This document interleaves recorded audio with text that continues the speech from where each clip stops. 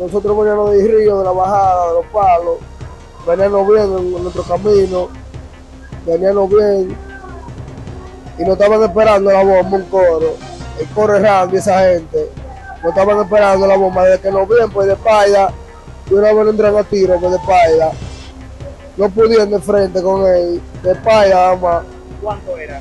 Era, ellos eran un coro como de 10, en cuatro motores, todito armados. ¿Qué le dijeron ellos? No, de una vez no entran a tiro de espalda, de una vez. ¿Por qué fue la situación? ¿Cuál era la situación entre ellos dos? Eso es uno- un viejo problema, pero el amarillo le había dado onda a eso, era él que estaba con su problema. El amarillo no quería problemas, y mira, no pudieron de frente, la más de espalda, no verdad. ¿Quién es él? Randy, y todo el mundo lo conoce, de para allá arriba y su coro. Entonces, ¿quién fue que disparó? Randy fue que disparó. Luego que disparó, ¿qué hizo? Le prendió la guida de una vez, se fue.